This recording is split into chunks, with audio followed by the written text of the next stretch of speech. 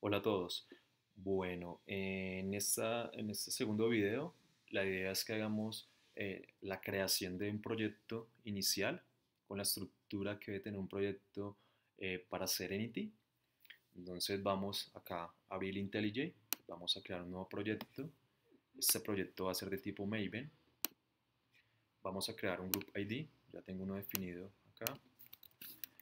Pero la idea es que ustedes ponga su, mismo o personalizado, su, su group ID personalizado. Y finalmente el nombre del artefacto que van a generar. Aquí bajar todo eso por defecto, el proyecto se va a llamar igual y la locación que escogí o la locación por defecto que me escogió IntelliJ. ¿Listo? Ahí ustedes pueden modificarlo o ponerlo donde quieran, donde se les facilite. Le finish y finalmente tenemos nuestro proyecto Maven, ¿listo? Con su estructura, con el main, con el test y finalmente el archivo .xml. ¿Qué vamos a hacer acá? Vamos a copiarnos estas dependencias que ya había separado por acá dentro del archivo .xml. Con respecto a eso, eh, la idea tengo una idea, este, este proyecto yo lo estoy subiendo en este repositorio, aquí es donde va a manejar todo el versionamiento del proyecto eh, en el transcurso del curso.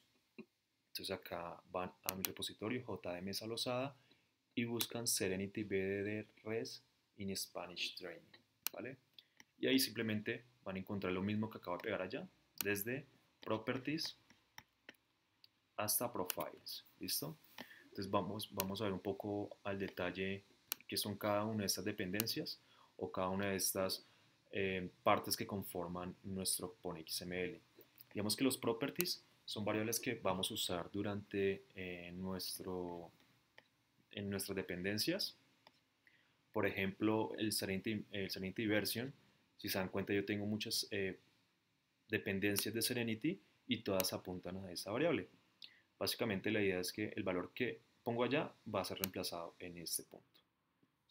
¿Por qué? Porque digamos que aquí básicamente las librerías de este grupo evolucionan al mismo tiempo. Entonces, la idea es mantener las constantes e iguales en todos. Entonces, simplemente pongo acá, si cambia una nueva versión, simplemente pongo 2.10 y automáticamente todas las demás van a subir a la 2.10.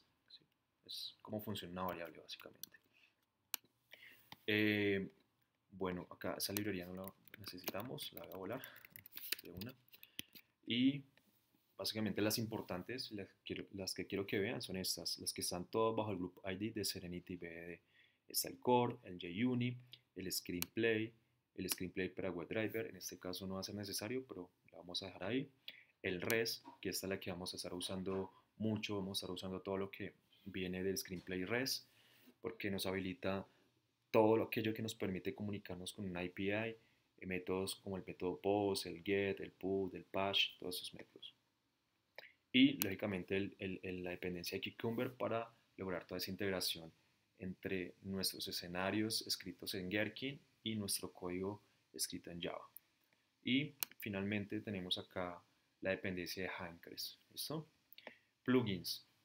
Los plugins importantes está el Maven eh, Surfire plugin, está el failsafe. El failsafe básicamente lo que nos permite es que ejecutar unas pruebas de integración, por decirlo así, y que nuestra ejecución no se em, falle si un caso falla. La idea es que podemos ejecutar una suite completa y al final obtener un reporte de cuántos fallaron y cuántos fueron exitosos.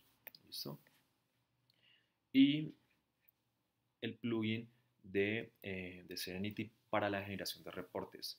Aquí digamos que cuando uno ejecuta las pruebas se genera un montón de archivos JSON, imágenes, si han visto para los que son de WebDriver, un montón de información, pero esa información todavía no está eh, unida en un solo lugar para poderla entender.